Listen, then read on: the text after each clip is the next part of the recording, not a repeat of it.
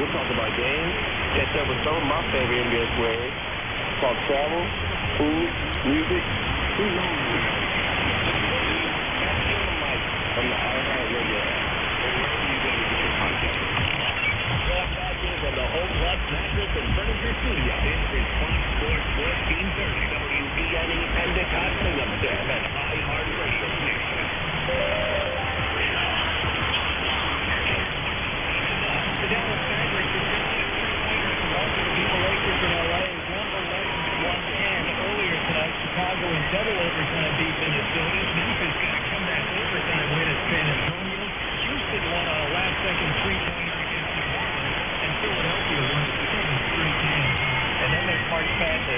NCAA tournament first round ended.